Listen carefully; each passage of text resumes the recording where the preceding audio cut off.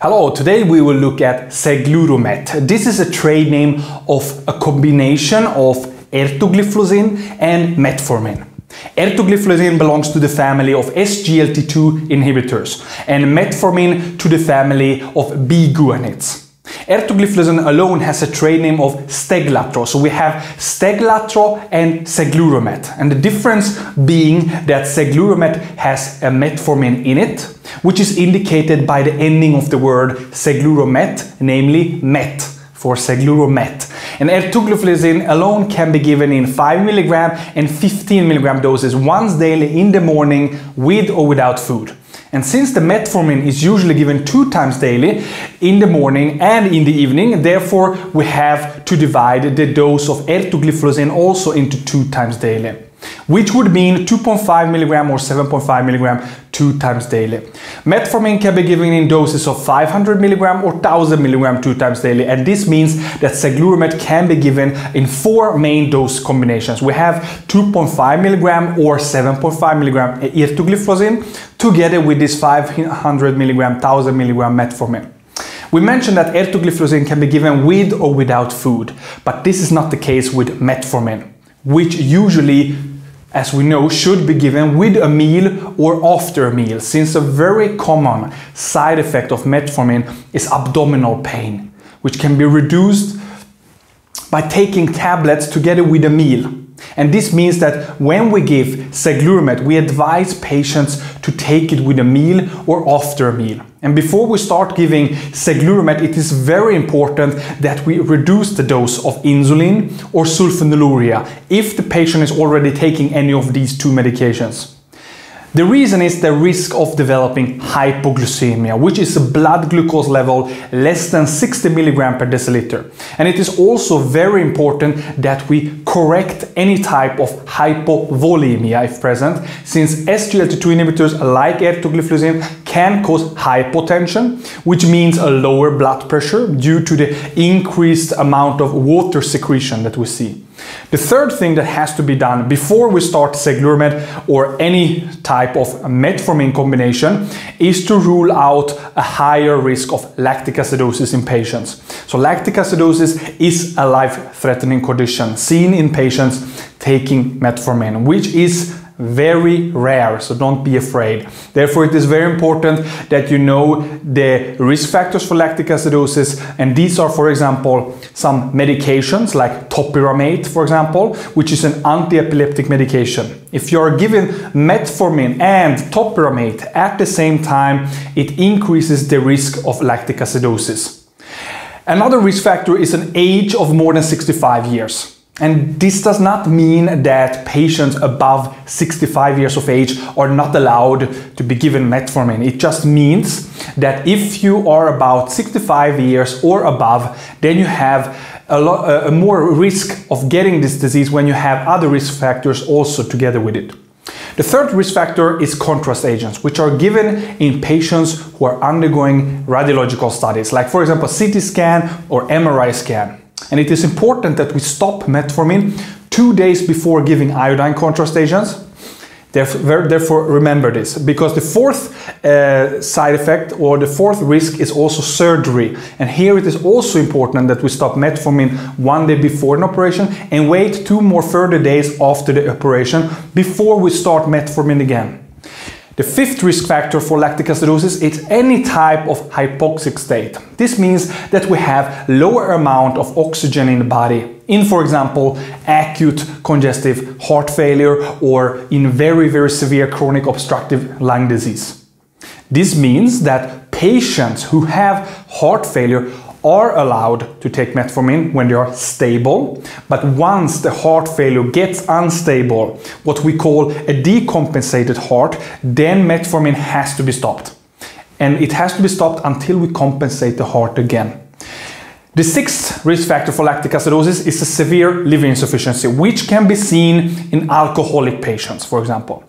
And one can say that segluromet can be used in patients with liver insufficiency, but the risk of lactic acidosis is increased due to both metformin and ertugliflozin. And ertugliflozin cannot be used in severe liver insufficiency with a Child-Pugh class C. We have four classes of liver insufficiency based on Child-Pugh classification. This is A, B, C, and D. And we are not allowed to give ertugliflozin in patients with class C or D. Until now we have talked a lot about what has to be done before we start segluromet and we are not done yet because we have to discuss the contraindications of segluromet.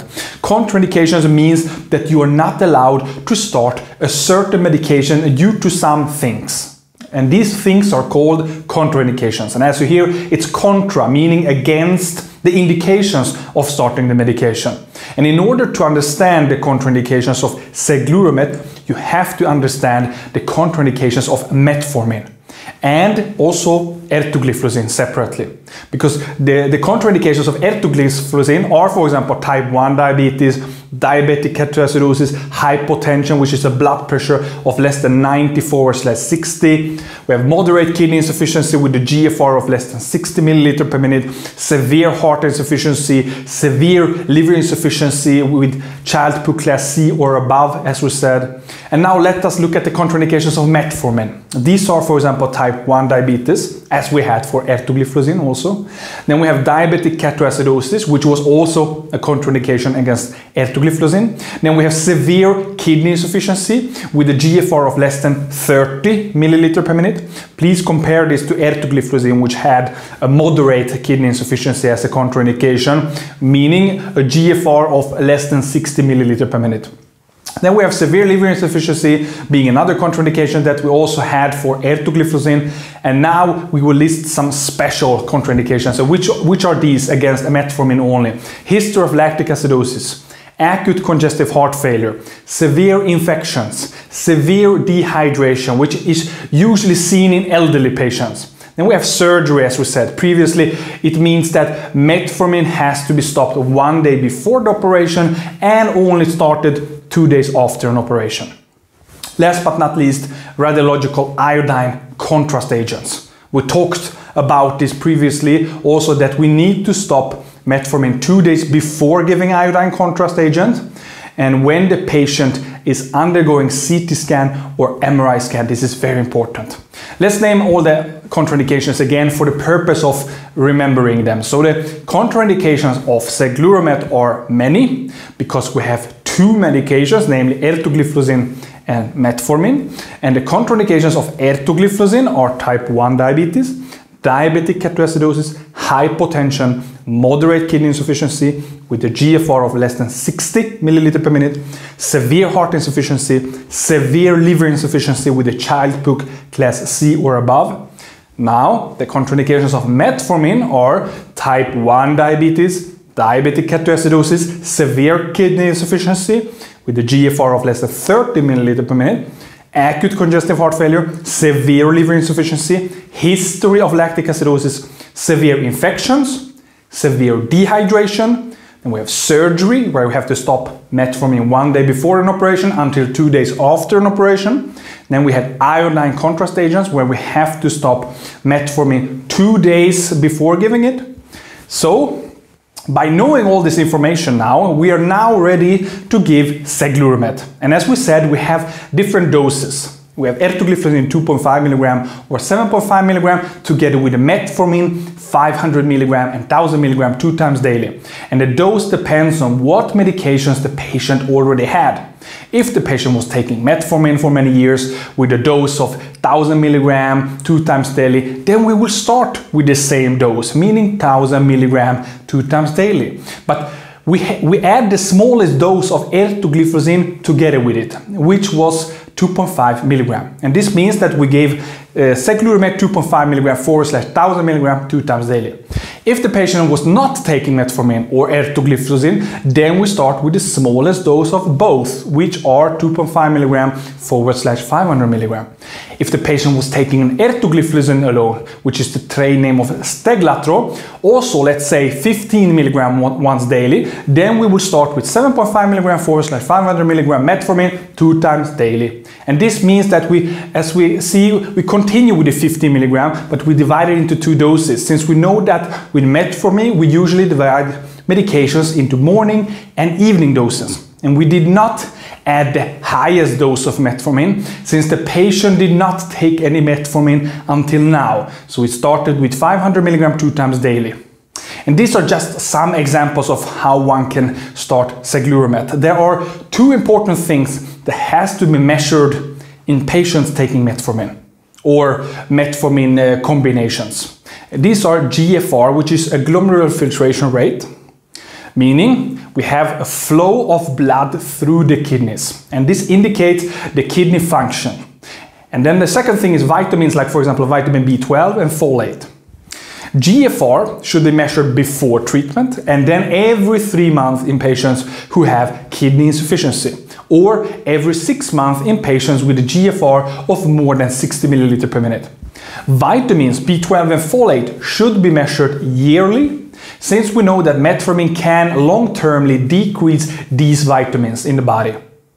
Another important thing to ask patients for are side effects. And the side effects can be many actually. We have, for example, uh, two medications here. So we have to learn ertugliflozin and metformin separately.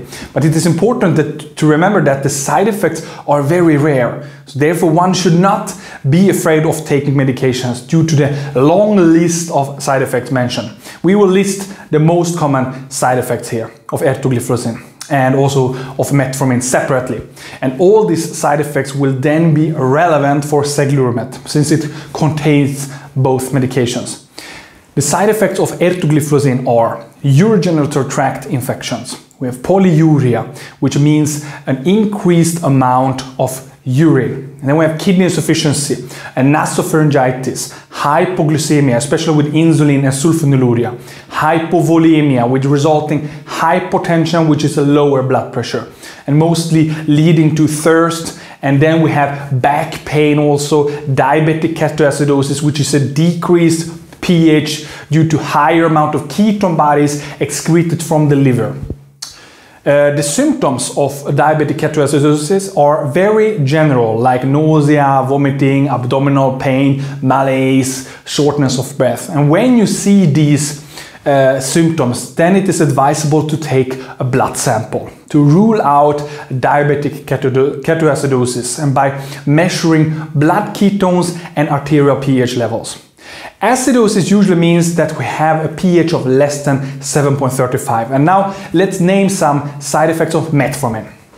These are headache, metallic taste, nausea, vomiting, abdominal pain, flatulence, diarrhea, vitamin B12 and folate deficiency, as we said previously, which can cause anemia, which is a lower amount of blood cells transporting oxygen in the blood. That can in turn cause a lack of energy. And we can also see upper respiratory tract infections and the most severe but very rare the lactic acidosis.